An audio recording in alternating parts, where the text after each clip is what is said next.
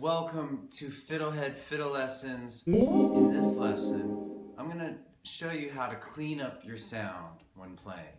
All right, you may have noticed that sometimes you're playing and, and you're going from an old note to a new note and the old note carries over a little bit. So I'm gonna help you clean that up, make your playing more precise okay? So basically what we do is, is we stop the bow, change what we need to change while the bow is stopped, and move on.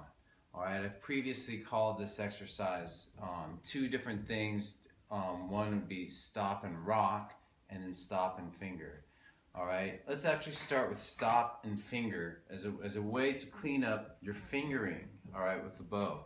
So um, say you're doing a simple scale like walking up the notes on the D scale on D string. All right. The way you would do this exercise is you'd play a down bow on D, full stop of the bow, then carefully place D1, stop the bow, place D2, stop the bow, place D3.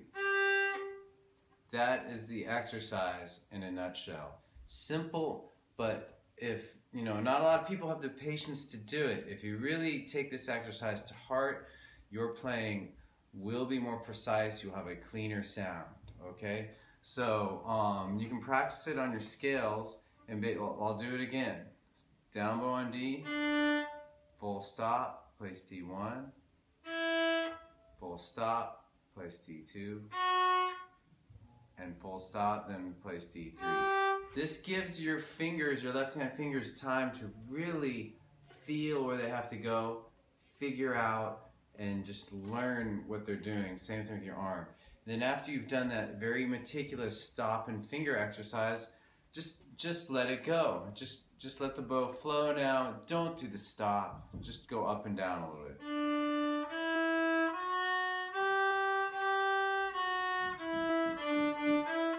Do that a little bit more, then return to the exercise. So this alternation between the stop and finger and then just kind of flow play will help you kind of learn, help your, you know, your arms and fingers are learning too, as well as your ear and your mind. Okay, so this is a, just an amazing, powerful exercise.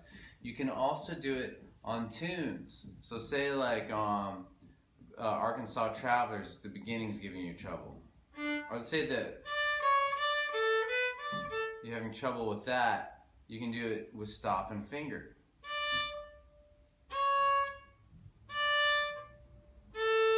And then you're like, okay, let's try that again.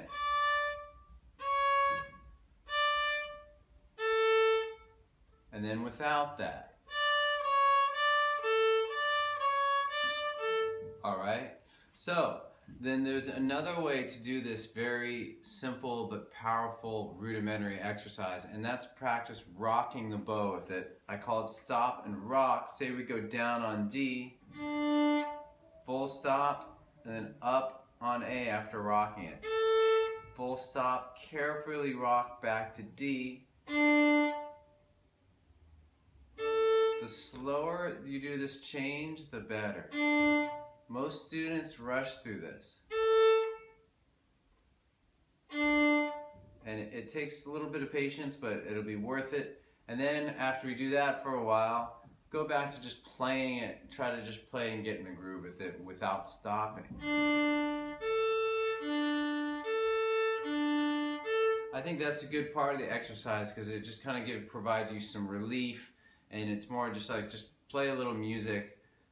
Okay, relax a little bit, and then go back to the meticulous work you have to do in order to learn this instrument.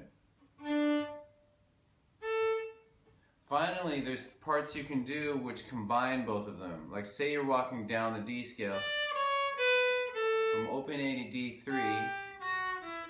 Often that change from open A to D3 is very hard for beginning students. Open A, so you can do it there. So we're just to go open A to D3 in a loop. But let's try it with the stop and change. So we'll both be doing stop and finger, stop and rock. So we're to go down on A, carefully rock, place the D3, then go up. lift the D3, carefully rock back to A, then place D3, rock to D3. That is the way to practice that.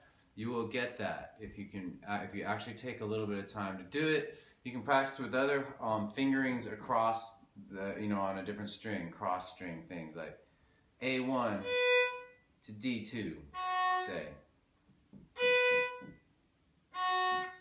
And I recommend doing it both with holding fingers down, but also lifting them.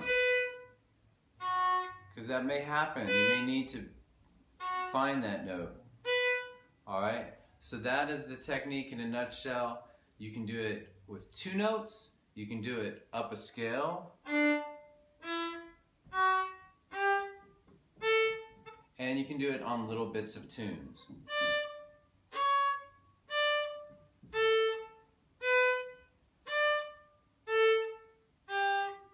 All right.